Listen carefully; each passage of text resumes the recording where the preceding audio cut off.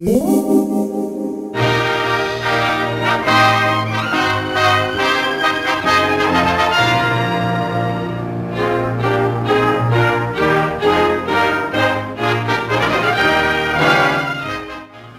think what's most interesting about the set for His Girl Friday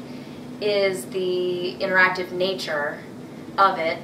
There are lots of doors and windows and furniture that need to be interacted with, and our director Dale Rose uh, requested that it have a realistic feel. So I went into research in the 1930s and found the actual building uh, indicated in the script and jumped off from there and have just had a great time taking it back into history, uh, but also um, adding some creative touches.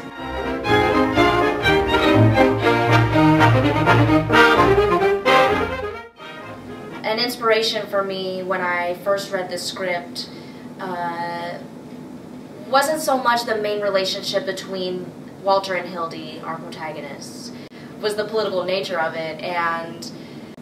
I wondered why John Guare would write,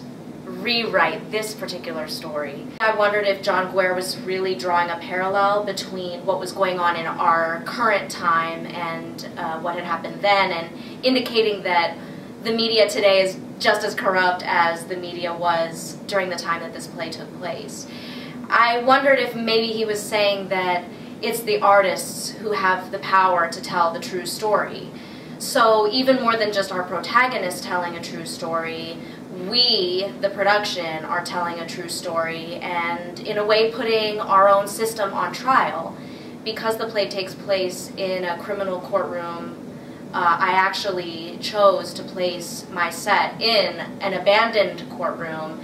placing the audience where the jury would sit, as though we are judging the art that we're seeing, uh, not just observing a story that happens to be entertaining and witty um, and a little romantic. I wanted to remind us that art is powerful and that we live in a corrupt time and